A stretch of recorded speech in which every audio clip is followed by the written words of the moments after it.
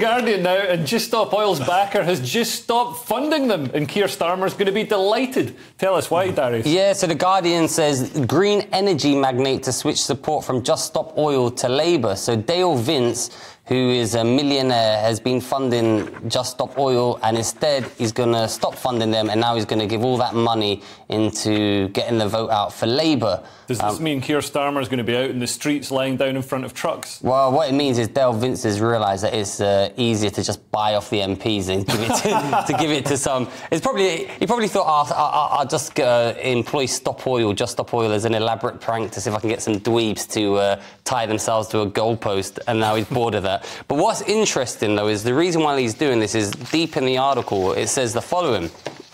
Green, a green policy offering led by Ed Miliband, the Shadow Climate Change and Net Zero Secretary, will create a new public-private energy company and reach a 28 billion in green investment by the end of the second half of a Labour-led parliament. So are you telling me that a businessman yeah. is supporting a politician in the hope that they might get some sort of dividend on the back end of it. No, that's this not, is disgusting. That, no, that's not. That's not what I'm telling you. What I'm telling you is, a businessman is paying a politician that oh, on the back a, end. Yeah, and that's that's called modern world. That's, yeah. that's that's what happened before. So under the previous Labour administration, Dale Vince, who's an energy baron, who's worth yeah. over 100 million pounds, uh, he paid uh, 1.5 million pounds to the Labour Party then, and he got 36 million pounds back in subsidies under their under when when they were in power. I, I would pay one million if I had it to get you two to stick your hands to the road if I got 30 million back. and do you think, uh, Josh? You think you might be worried because we've seen uh, Laurence Fox was recently arrested for uh, for